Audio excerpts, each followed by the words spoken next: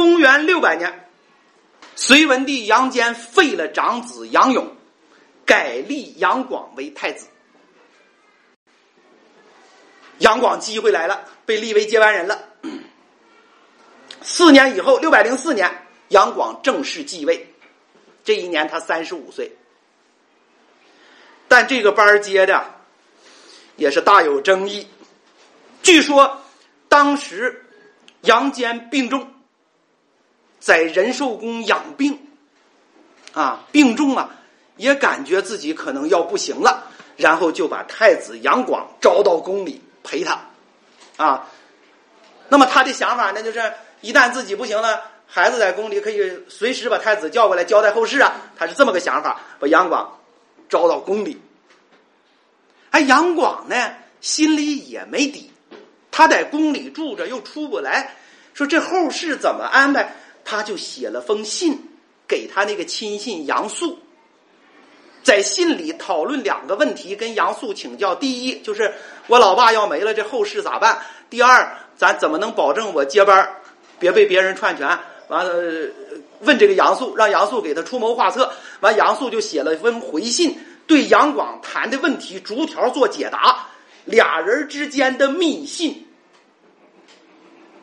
这个信的内容没流传下来啊，但是我们可以想，这信的内容肯定有很多犯忌讳的地方。俩人密谋，皇上死了之后怎么办？结果送信这太监忒糊涂了，拿着杨素给杨广的回信，直接送到杨坚那儿去了。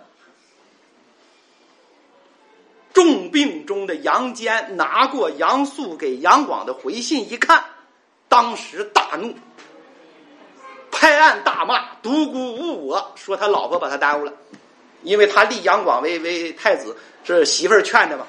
说他拍案大骂，独孤误我，马上招俩官员进宫，让这俩官员起草诏书，把杨勇招来，要改改接班人，啊！但这个时候，杨广就得到消息了，他的应变能力还很强。这俩起草诏书的大臣。没等把诏书写完，直接杨广的人就来把这俩人拿下，以谋反的罪名直接把这俩人逮起来，然后就把杨坚的寝宫仁寿宫的护卫卫兵全换了，都换成杨广的人了，然后接着就开始用咱今天话说清场吧，闲人们都都都都都出去免进，闲人免进，他派了个官员叫杨恒啊张衡。跟发明地动仪那张衡重名，但不是一个人啊。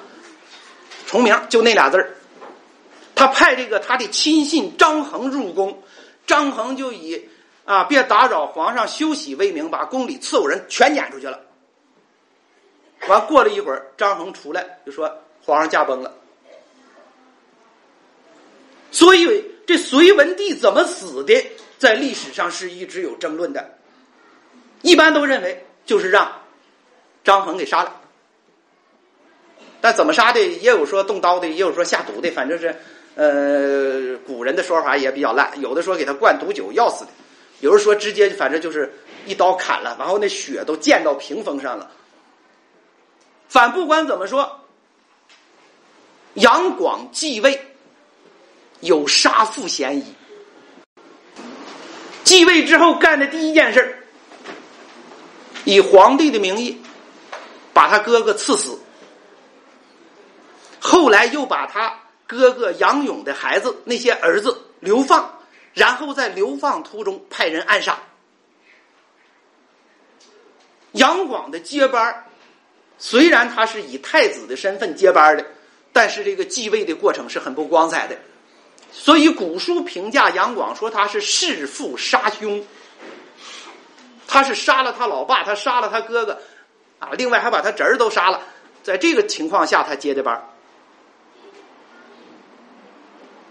那么这场宫廷政变，我们要从好的一面看，说杨广应变能力很强啊，所以关键时刻能够胜出。从另一个角度看呢，这个人心也太狠了，对自己亲人都能这么狠，对别人呢？那就更不用说了，那么这一点后来在杨广当皇帝之后表现的淋漓尽致，淋漓尽致。